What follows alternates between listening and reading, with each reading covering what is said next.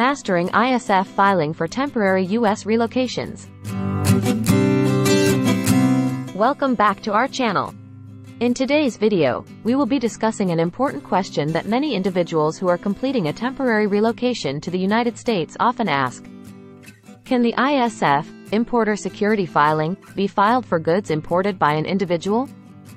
Before we delve into the answer, let's first recap what the ISF is all about. The ISF is a requirement imposed by U.S. Customs and Border Protection, CBP, for all ocean cargo shipments coming into the United States. It is a security measure aimed at ensuring the safety and security of the supply chain.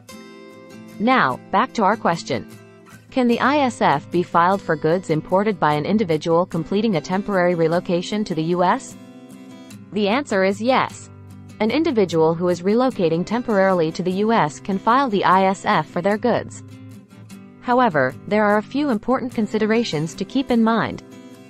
First, it is important to note that the ISF filing is typically the responsibility of the party responsible for bringing the goods into the United States. In most cases, this is the carrier or the customs broker hired by the importer. However, if you are an individual importing goods for your temporary relocation, you may need to take on the responsibility of filing the ISF yourself. Second, individuals completing a temporary relocation need to be aware of the time constraints associated with the ISF. The ISF must be filed at least 24 hours before the goods are loaded onto the vessel that will bring them to the U.S. Failure to timely file the ISF can lead to penalties and delays in the clearance process. Additionally, it is vital to ensure that all the required information is accurately provided in the ISF. This includes details about the importer, consignee, buyer, seller, and goods being imported. Providing incomplete or incorrect information can also result in penalties and potential problems during the customs clearance process.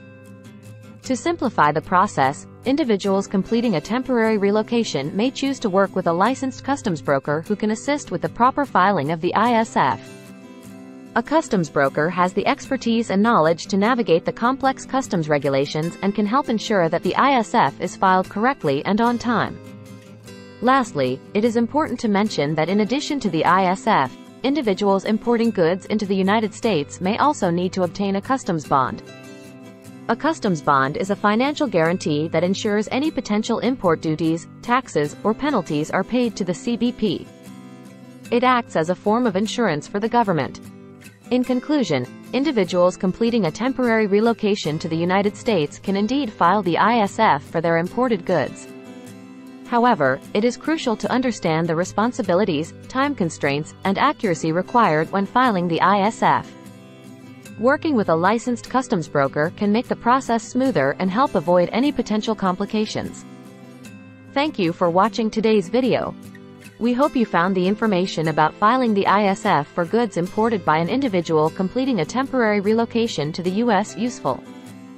If you have any further questions or topics you'd like us to cover, please let us know in the comments below. Don't forget to subscribe to our channel and hit the notification bell to stay updated on our upcoming videos. Disclaimer note below. See you next time.